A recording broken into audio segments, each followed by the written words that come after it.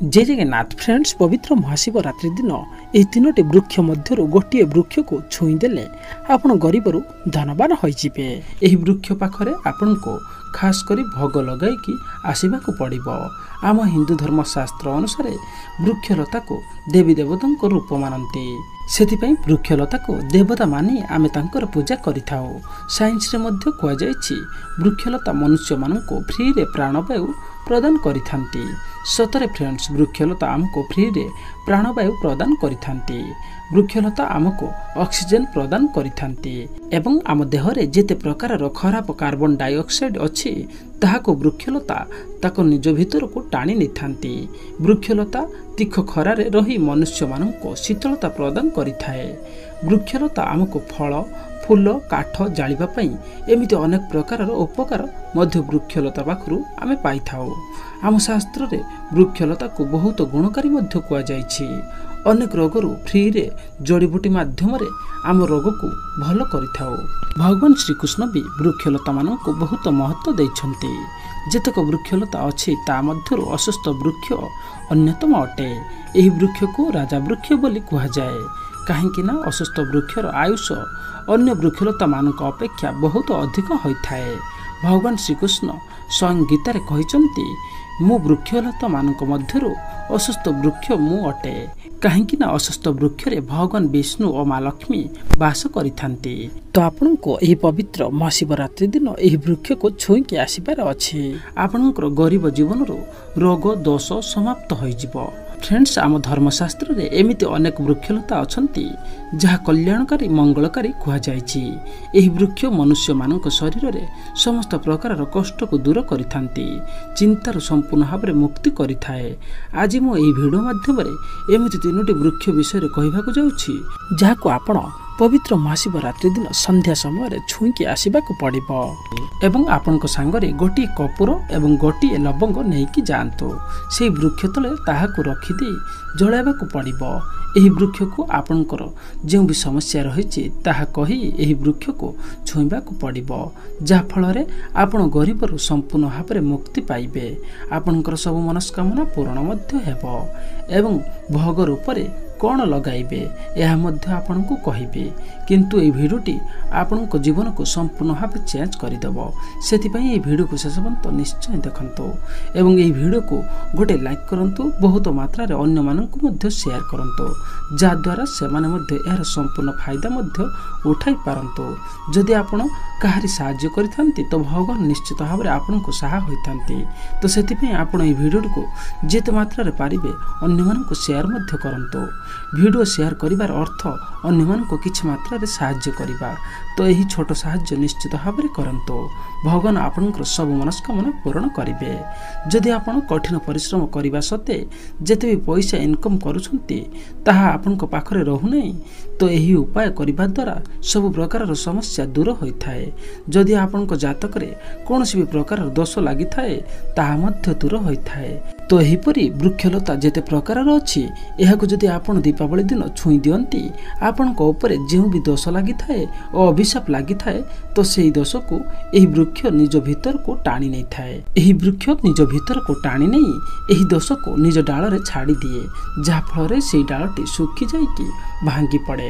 ଆପଣଙ୍କୁ ଯଦି କେହି ଅଭିଶାପ ଦେଇଛନ୍ତି ତ ଆପଣ ଏହି ବୃକ୍ଷକୁ ଛୁଇଁବା ଦ୍ୱାରା ସେହି ଅଭିଶାପ ବୃକ୍ଷ ଦେହରେ ଚାଲିଯାଏ।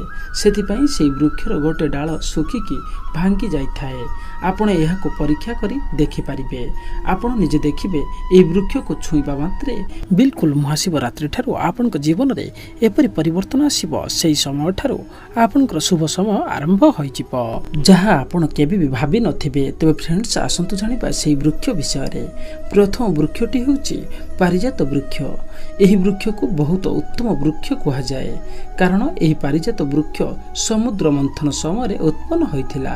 ଏହି ବୃକ୍ଷକୁ ଦେବରାଜ ଇନ୍ଦ୍ରଙ୍କ ସ୍ୱର୍ଗରେ ନନ୍ଦନ ବନରେ ସ୍ଥାପିତ କରାଯାଇଥିଲା। ପାରିଜାତ ବୃକ୍ଷକୁ ଭଗବାନ ଶ୍ରୀକୃଷ୍ଣ ମାନବ ଜାତିର କଲ୍ୟାଣ ପାଇଁ ଧରିତ୍ରୀ ଉପରକୁ ଆଣିଥିଲେ।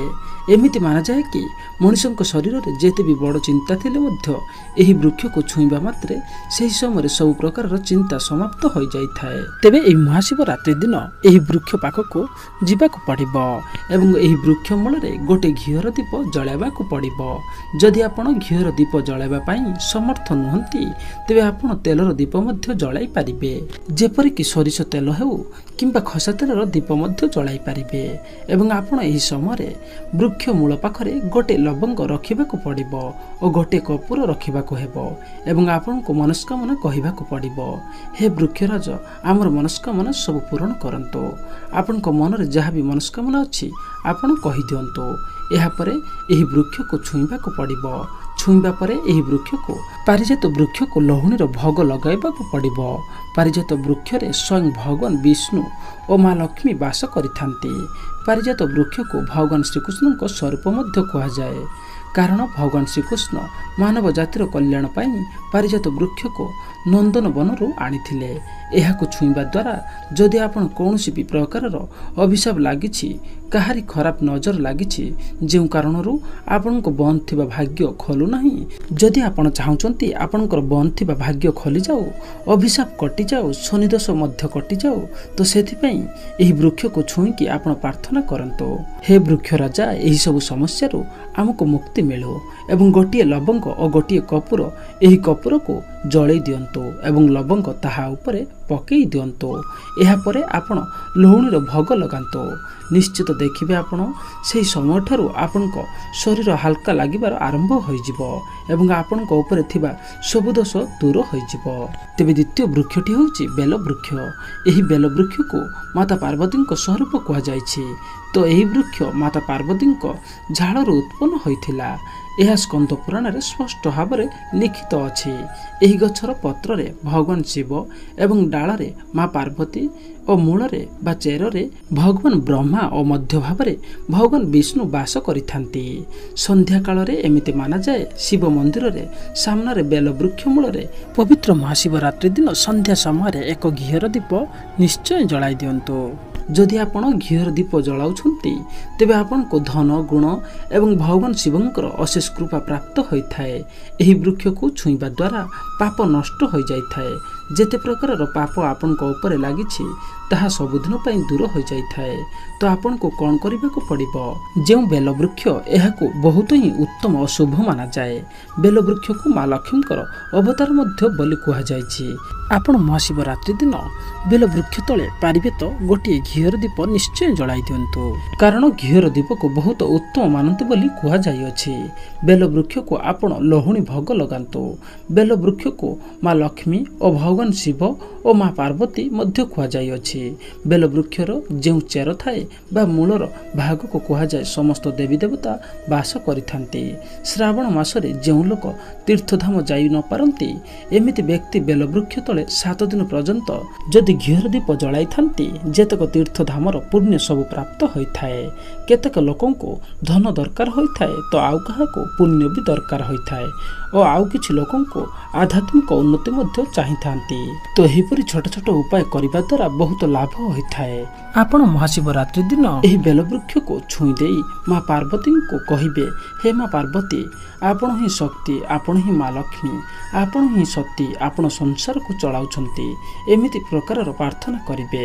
ଏହି ବୃକ୍ଷକୁ ଛୁଇଁକି କହିବେ ମୋ ଗରିବ ଜୀବନକୁ ବଦଳାଇ ଦିଅନ୍ତୁ ମୋ ଜୀବନରେ ଯେତେକ ଚିନ୍ତା ଅଛି ଦୂର କରିଦିଅନ୍ତୁ ଯେଉଁ ପ୍ରକାରର ସମସ୍ୟା ମଧ୍ୟ ରହିଛି ସବୁ ସମାପ୍ତ କରିଦିଅନ୍ତୁ ଏହି ପ୍ରକାରର ପ୍ରାର୍ଥନା କରି ଆପଣଙ୍କୁ କପୁର ନେଇ ଜଳାଇ ଦେବେ ଏବଂ ତାହା ଉପରେ ଗୋଟିଏ ଲବଙ୍ଗ ପକାଇ ଦିଅନ୍ତୁ।